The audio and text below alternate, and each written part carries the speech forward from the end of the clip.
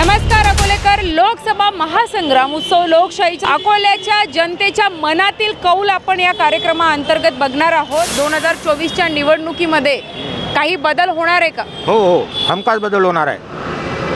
त्याची घराणेशाही सगळी संपूर्ण संपूर्ण जनता नवीन उमेदवार देणार आहे. अभय पाटिल. अभय जी क्यों लगता है अभय जी नया चेहरा होना वही चेहरा चेहरा चेहरा चेहरा देख के पूरा अकोले दवाशी पूरे बोर हो गए. बाहर के लोग बड़ी सिटी के लोग आते तो बोलते ग्रामीण है अकोला का सच में विकास हुआ है? क्या समस्या है अकोला की? बहुत विकास हुआ मैडम ये पुल बन गया।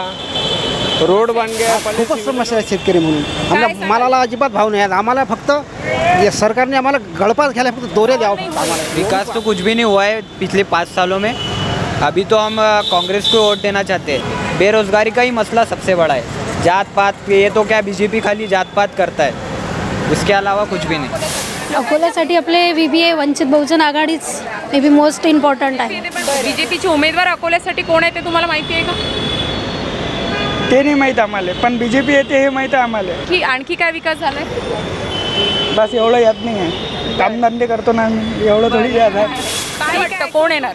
अभी अभय पाटिल होना मैडम क्योंकि बेरोजगारी बहुत बढ़ गई और महंगाई भी बहुत हो गई।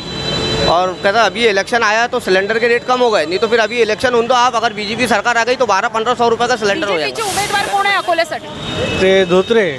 नाव काय आहे पूर्ण? नाव जास्त माहीत नाही मला.